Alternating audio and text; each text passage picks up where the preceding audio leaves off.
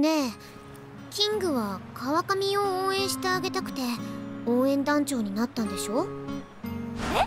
そそれはどうかしら？そそそそそんなトップである応援団長が特定の馬娘をひいきするなんて。わあバレバレ。みんなに気づかれるのも秒読みだね。団長として真面目に頑張ろうとしていることもだから今から伝える内容はそうやって頑張ってるキングだけに話す秘密だから。え？それってどういう？恥ずかしい私語りってこと？そもそも私が今年応援団に入ろうって思った理由はさ。お姉ちゃんとそちらは前に話してた団長さんかい？二人とも応援団頑張ってるらしいな。応援してるよ。応援団を応援ってのも変だけどね。そうだ。ジュースでも持ってくかい？はい。ありがとね。おじちゃんおばちゃん。なんのなんの？ここのみんなは姉ちゃんの応援団だからね。ファイト？おーだよ。応援団？ユニフォームとか大太鼓とかもないんだけどね。でも私が応援団をやってみたいって思ったのはこの応援団がいたからなんだ。分不相応な目標だとは知ってた。でも諦めきれなくて場違いな舞台に立ったことがあったんだ。で周りを見渡してどれだけ大きな舞台かを知ってようやくどうしようなんて今更な後悔をして足がすくんで手まで震え出しちゃったその時に。姉ちゃん頑張れ！頑張れって声の大波が私の背をググーって押してくれたの本当にすごい応援団なんだよ。ここの人たちっていつか自分も誰かの背を押せる応援をしてみたいって思うくらい。ということでキングも応援団の先輩である方々にコツを教わってみてはどうでしょうか。いいこと聞けるかもよ。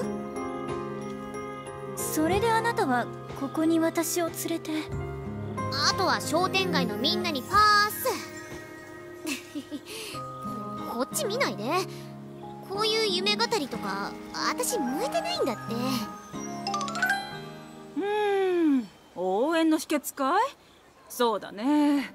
私は真心だと思うかな。あんたはどうね？そうだな。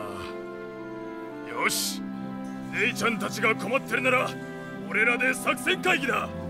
みんな集まれ！ええー、か会議って大げさなちょっとコツを教えてくれるだけでいいから。おやおやみんなで考えるのかい？じゃコーヒーでも入れようかね。おおいいねばあちゃんのコーヒー。よしみんなで頑張るぞ。これがネイチャさんの応援団？夜なのに大きな声を出すでしょうみんなネイちゃんのためならって張り切っちゃうんだから。あいえ。声がまとまっていてちゃんと団みたいだなと。あらそう思ってくれたなら光栄ね。うちの商店街の取り柄はそれくらいだもの。どなたか団長さんはいらっしゃるんですか？ネイチャさんの応援のために何か特別なことをしたとか？そういうのはどうだったかな。うちは団長もいなければ豪華な何かも用意したことはないから。ただ声をかけて手を取り合って一緒に姉ちゃんを応援しようってお互いに肩を組んだら声が揃っていったのかな。ただ声をかけて手を取り合ってですか？なんか当たり前の話しかできなくてごめんね。こんなの団長さんなら分かってた話だよね。いえ。それこそが基本なのですね。ネイチャさん。おキング？そっちもいい意見もらえた？ええ。とても。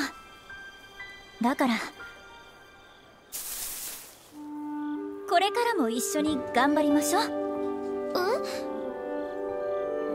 うん。地味でもまず基本から始めようと思ったの。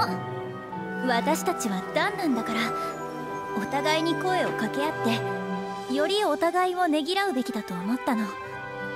団結ってつまりこの人についていこうじゃなくてこの人と一緒に作ろうって思われることから始まるのかなって。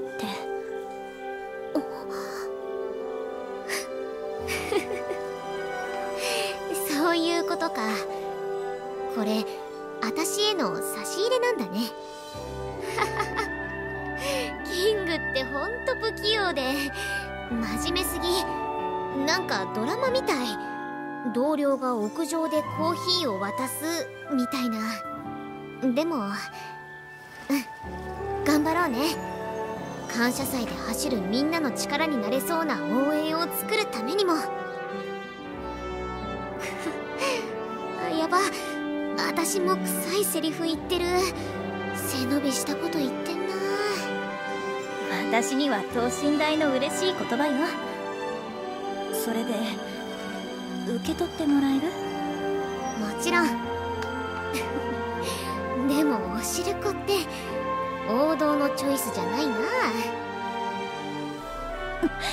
別にいいじゃない。